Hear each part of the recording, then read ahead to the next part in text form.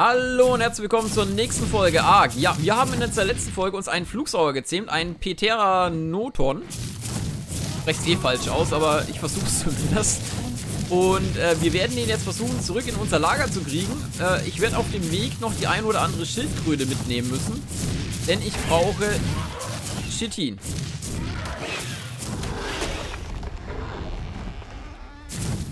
Teganomastax, äh, die sind auch nicht verkehrt. Äh, die sammeln nämlich, glaube ich, Pflanzen ein, wenn man sie frei laufen lässt. So, die Schildkröte zu zweit soll es überwachtbar sein. So, sehr schön. So, dann kriege ich nämlich von dir, wie kriege ich denn da am meisten raus? Wir kriegen hier Keratin 1 Fleisch. Keratin auf jeden Fall, glaube ich, mehr, wenn ich die Axt nehme. Äh, dann kriegst du hier Fleisch. Du bist ja unser Fleischfresser. Na, aber bitte nicht vor meinen Füßen rumrennen. Na, hallo. Nicht vor meinen Füßen rumrennen. So, denn wir brauchen für den Sattel von unserem Flugsaurier brauchen wir 81 Chitin, glaube ich. 81 Chitin waren es, glaube ich. Also relativ viel. Oh, lila Strahl bei meinem Haus müsste das sein. Oh, komm, hier, die beiden. Ich würde aber auch gerne die Schildkröte noch mitnehmen. Komm her. Oh, jetzt muss der kacken.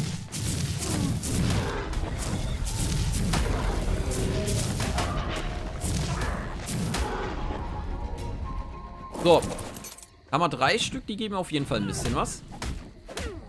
18, 20, sehr schön. Wie, die geben keins? Die haben doch auch einen Panzer. Ist Filet? Die ge okay, Krokodile geben keins. Trotz Panzer.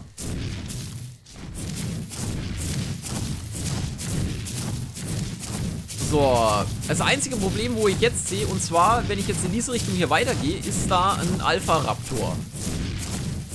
Für meinen Paracer, glaube ich, kein Problem.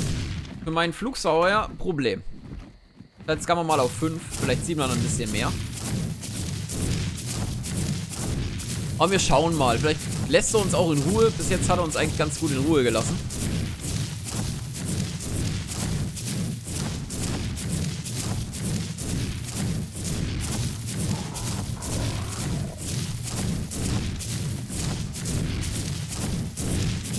Nee, der lila Strahl ist weiter hinten. Allerdings der grüne Strahl wäre wirklich an meiner Basis.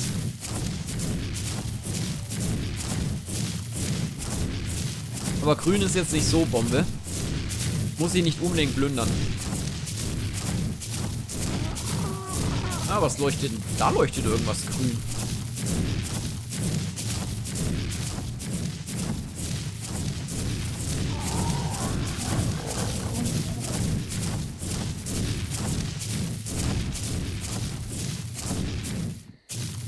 Ah, Ausdauer weg. Mal kurz warten. Bringt am meisten. Na komm, lade ich auf. Sondern gerade halt was den Raptor... Kommst du auf mich zugesprintet. Ich glaube, der haut selber vor irgendwas ab.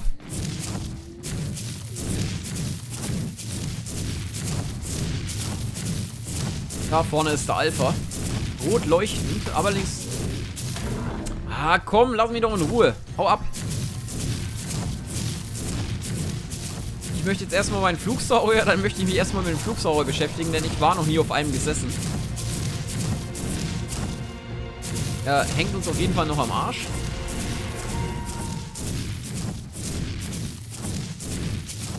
Ja, ich habe mir mittlerweile einige Kommentare gekriegt, dass ich äh, ja noch sehr viel, sehr viel lernen muss, was das Spiel angeht und so weiter. Äh, und dass ich vieles falsch mache und was ich alles schon gehört habe. Äh, ich habe auch schon Nachrichten gekriegt, wo drin hieß, äh, ich soll doch nicht solche Guides machen. Äh, das Ganze hier ist kein Guide, wie man dieses Spiel am besten spielen soll und ich habe auch wirklich von diesem Spiel wenig Ahnung, weil ich mit euch letztendlich dieses Spiel kennenlerne und auch neu angefangen habe, dieses Spiel. Also ich kannte das Spiel vorher nicht. Ich habe wirklich mit der ersten Folge YouTube, ist auch meine erste Folge in diesem Spiel. Oder meine erste Stunde in diesem Spiel. Soll letztendlich heißen, das Ganze hier ist kein Guide, das ist so ein, ja, schaut euch an, wie ich mehr oder weniger alles dazu lerne und hoffentlich hier halbwegs gut bestehen kann. Jetzt fliegt ihr mir schon wieder... Ist es dein Ernst? Musst du mir direkt vor die Füße fliegen. Ja, äh, so viel nur mal dazu. Also das soll hier weder ein Tutorial, noch ein Guide, noch ein, äh, wie sollte man dieses Spiel am besten spielen und wie spielt man dieses Spiel auf effektiv sein, sondern es sollte einfach nur so, ja, halt ein Let's Play, dass man Eindruck von diesem Spiel bekommt, sein. Und ich hoffe zumindest, das kommt rüber. Wieso fliegt ihr mir dauernd vor die Füße? Ja, den, ja, gut, ich weiß mittlerweile auch, man kann den Folgeabstand der Tiere äh, festlegen. Das heißt, wenn ich den Folgeabstand von ihm jetzt um einiges höher setze, würde er mir nicht direkt am Arsch kleben. Ich habe jetzt allerdings keinen Nerv abzusteigen. so, füllt man erstmal die Schlange hier. Die nerven mich ja sowieso die ganze Zeit schon. Ja, hallo. So. Wie? Da ist der Arsch. Bola, wo ist meine Bola?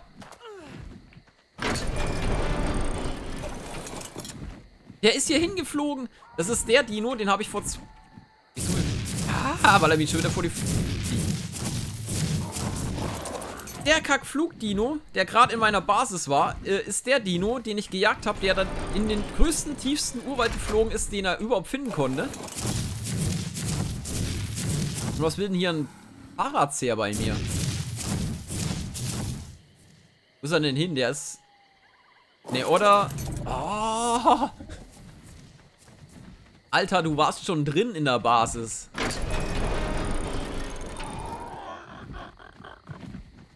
Ja, KI... Schön und gut. Könntest du jetzt bitte reinfliegen? Alter. Das Tor ist achtmal so groß wie du. Du wirst wohl da reinfliegen. Können. Pass mal auf, Kollege. Da rein. So kann ich denn...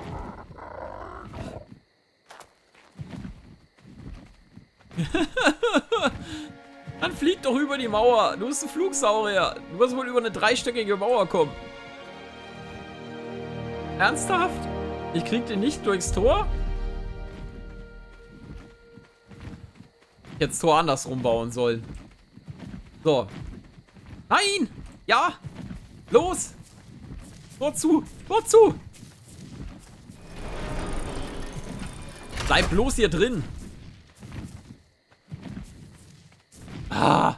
Macht mal was mit. So. Ähm, Sattel herstellen. Shuttle herstellen. Ich brauche Chitin. Das habe ich... Ja, du folgst mir jetzt erstmal. Das habe ich in meiner Basis liegen. Wenn ich einen Sattel für ihn habe, kann ich auch fliegen. Dann ist das Ganze mit diesem unkontrollierten Hin- und Hergefliege und Getue hat sich dann erledigt. So, wo ist er denn? Äh, bleiben. Ja. Ah, hin. Fertig. So, Sattel. Äh, ah, ich habe einiges. Sehr schön. Äh, das Ding hieß PT. Nein, Raptor Fasern brauche ich noch. So, herstellen. Inventar.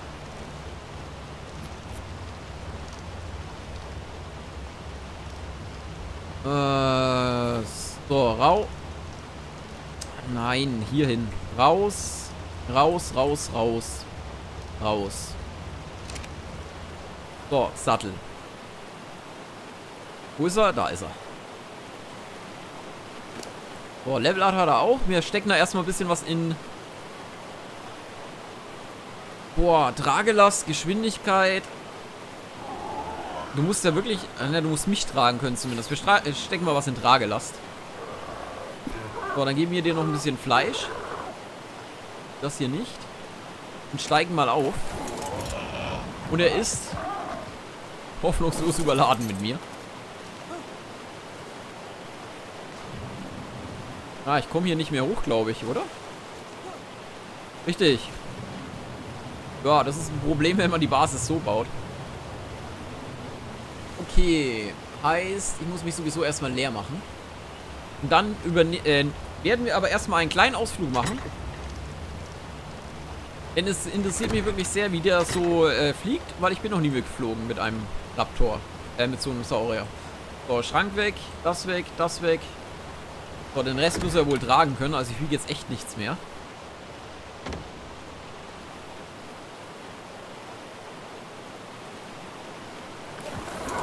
Bingo! Okay, fliegt sich wie in World of Warcraft.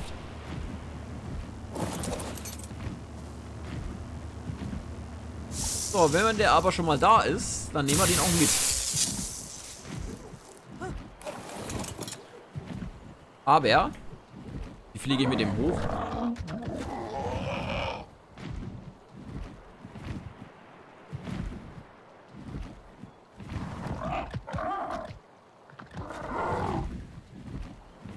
Ah, okay. Oh, in Ausdauer werde ich bei dem wahrscheinlich einiges stecken müssen. Ja, Ausdauer wäre sinnvoll. Gerade was in Ausdauer investieren. Okay, kriegen wir hin. Alter, ernsthaft? Lande doch da. Wieso landest du 10 Kilometer weit weg? Guck mal, da.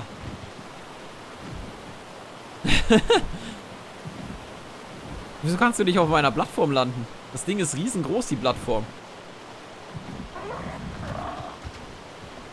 Guck mal, da kannst du drauf landen, da kannst du drauf stehen. Genau, perfekt. So, Fressen hat er. Level 32. Okay, wir können mit ihm äh, praktisch nichts transportieren. Was hast du hier überhaupt für ein Level und was machst du hier überhaupt? 36. Okay. Aber Halt, Moment. Okay, Fernrohr geht schon mal. Oh, nö. Ah. Bringen wir dir auch noch bei. So. Das, das, das weg. Das auch weg. So, wir haben einige Betäubungspfeile. Ich habe ein paar Bolas und so weiter dabei. Dann würde ich mal schauen, euch einen, ja, nicht besseren, ja, obwohl eigentlich schon, ob ich einen besseren Flugsäuer finde. Auf jeden Fall bin ich mit dem erstmal soweit ganz zufrieden. Denn ich kann jetzt beispielsweise mich äh, speziell Stra äh, Strähle konzentrieren und so weiter. Und vor allem, ich kann die Gegend hier mal komplett erkunden. Natürlich nicht gerade, wenn neblig ist, so wie jetzt gerade. Weil, naja, das liegt auch am Gamma. Kann man mal ein bisschen runterdrehen. So, wir schauen mal den blauen Strahl. Der kommt gerade runter. Den können wir noch einsammeln.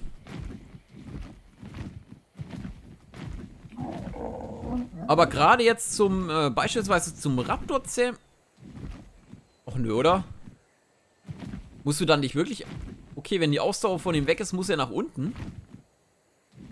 Uh, das ist schwierig. Wenn er dann jedes Mal landen muss, muss ich echt Ausdauer, vor allem alles in Ausdauer stecken.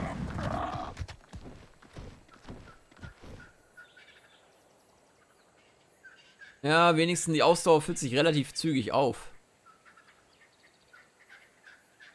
Können wir ja mal ein paar kleinen Dillos anlegen mit ihm.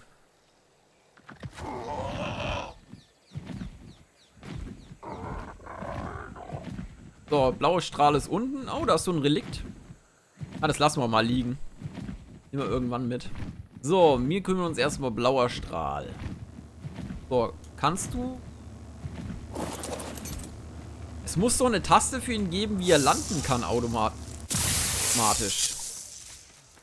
Muss ich noch rausfinden. So dass er jetzt beispielsweise, wenn er knapp über dem Boden ist, anfängt zu landen. Ah, okay, Leertaste. Gut. Schauen wir mal. Okay, wir organisieren uns einen etwas größeren Flugsauer nach Möglichkeit.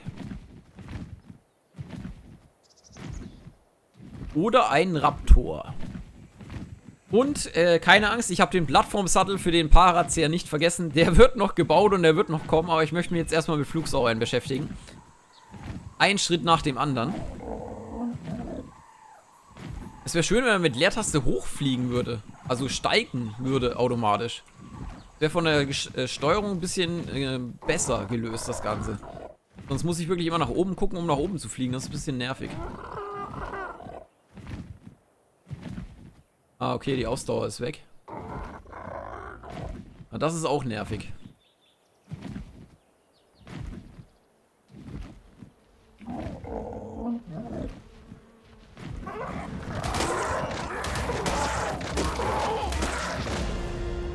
So, Level Up. Sehr schön.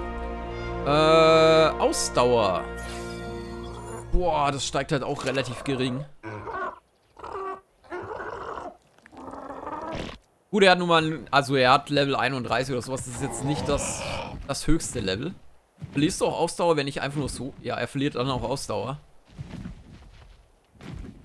Also über die Ausdauer wird jetzt endlich die Zeit gemessen, wie lange er in der Luft bleiben kann. Gerade da sollte ich eigentlich alles in Ausdauer stecken.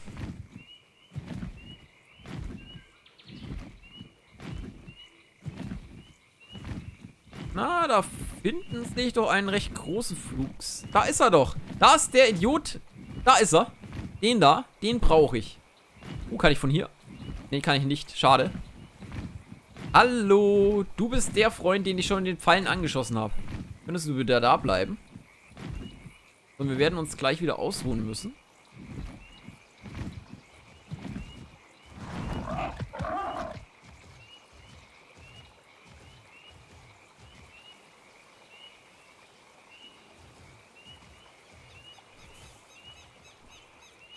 Da ist er.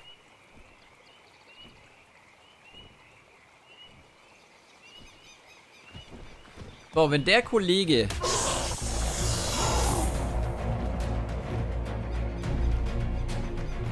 Scheiß Schlange.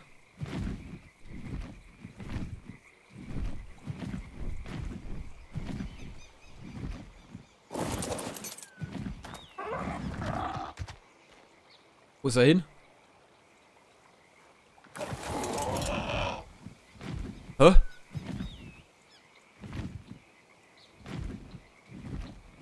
Wo ist er hingeflogen?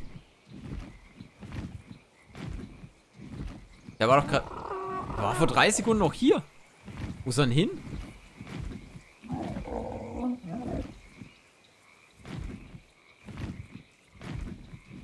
Hä? Bin ich blind? Ja, ab und zu ja, aber... Hä? Er war doch vor drei Sekunden war er noch hier. Da unten ist er, oder? Ne, ist nur ein Felsen.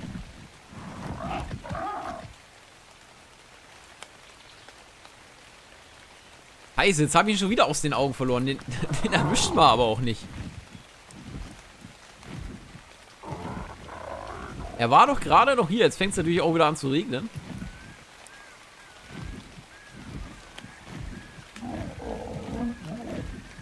Na, okay, wir suchen uns einen anderen. Weil ich muss den mal mit äh, versuchen, Bolas abzuwerfen. Problem ist, ich komme eigentlich gar nicht nah genug so an den ran.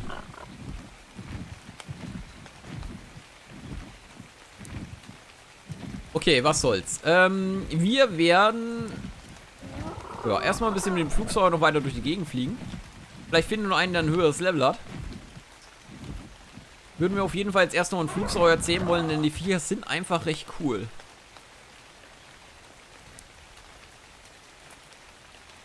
Allerdings müsste das Wetter auch ein bisschen besser werden. Aber wir schauen mal. Ja, für diese Folge war es das trotzdem erstmal wieder. Äh, wie gesagt, in der nächsten Folge, wir werden uns weiterhin auf, äh, ja, den ein oder anderen Flugsäure erstmal stürzen. Und dann schauen wir mal, was wir noch so anstellen in unserer Zeit. Äh, Plattformsattel wird noch gebaut, versprochen, kommt irgendwann in den nächsten drei bis vier Folgen auf jeden Fall. Und ja, ich bedanke mich fürs Zusehen und sage, macht's gut, bis zur nächsten Folge.